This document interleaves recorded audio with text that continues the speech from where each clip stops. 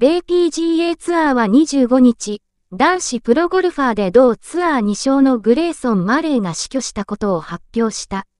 30歳だった。マレーは今週開催の同ツアー、チャールズ・シュワブチャレンジに出場し、前日24日の第2ラウンド途中で棄権していた。ノースカロライナ州出身、2015年にプロ転向し、ルーキーシーズンの17年、バーバゾル選手権で同ツアー初優勝。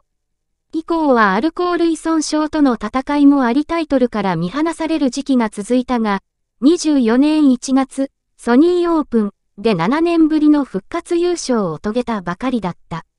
最新の世界ランキングは58位。同ツアーコミッショナーのジェイ・モナハン氏は、私たちは悲嘆に暮れています。このことをお伝えするのは胸が張り裂けそうで、言葉も見つかりません。心から哀悼の意を表します、と声明を出した。またモナハン氏は、マレーの両親が今週の大会継続を強く望んでいることを受け、困難ではありますが、私たちは彼らの願いを尊重したい、とコメント。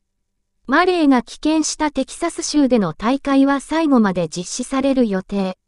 マレーのマネジメント会社である GSE ワールドワイドは、詳細が明らかになるまでコメントは控えますが、グレイソン氏の突然の訃報を知り深い悲しみに暮れています、と SNS に投稿した。